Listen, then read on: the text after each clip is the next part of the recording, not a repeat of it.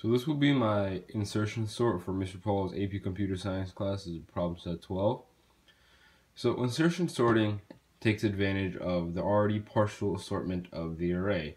And it does this through bubble sorting as well. Here I have collection of letters A to H. We know A should be the beginning, H should be the end. So let's get started.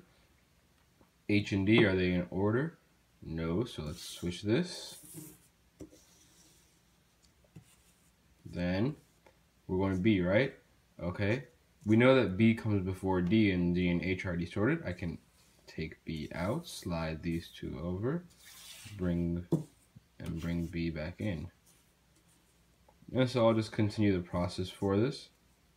I know that F is big is greater than D but less than H, so I can do this.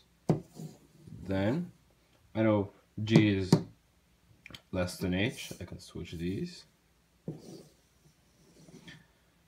I know E is less than F, but greater than D, uh, D, so I can take E out, slide these over, move it here.